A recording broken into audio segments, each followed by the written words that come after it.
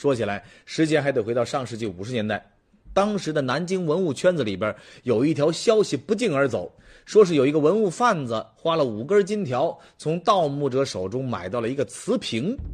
文物部门得知消息之后，立即行动，找到了文物贩子，及时追回了瓷瓶。那，眼前您看到的就是当年被找回的瓷瓶。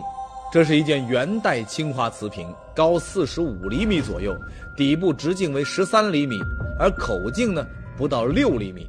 这件梅瓶线条圆润流畅，给人一种雍容华贵的美感。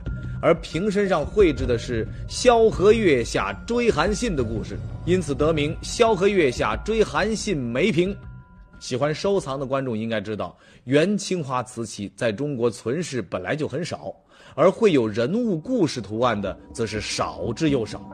但您看这件瓷瓶，人物刻画极其生动，人物神情尤其精彩。萧何策马狂奔时的焦虑，韩信河边观望的踌躇不定，老艄公持桨而立的期待等等，都被表现得淋漓尽致。因此，要说这件做工精美的梅瓶是国宝中的国宝，一点都不为过。也许有人会好奇呀，这样一件宝贝，大概值多少钱呢？我来给您做一个比较啊。二零零五年，有一件名为《鬼谷下山图》瓷罐的元青花，在伦敦佳士得拍卖会上呢，最终以两点三亿人民币的价格成交，创造了当时中国艺术品的最高拍卖价格。那同样，作为元青花的萧何月下追韩信梅瓶，无论是。瓷胎质地还是青花发色都要更胜一筹。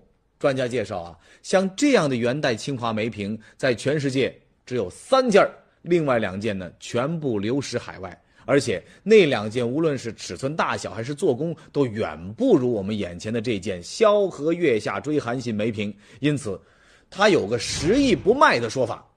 没想到吧？当年这个只值五根金条的梅瓶，现在的价值已经超过了十亿。其实啊，据博物馆工作人员介绍，这件萧何月下追韩信梅瓶的价值远远不止如此。南京市博物馆将它选为镇馆之宝，不仅因为它是一件十亿不卖的绝世珍宝，还因为这件瓷瓶的出现，曾经牵出了几百件珍贵文物的下落，成就了一段考古。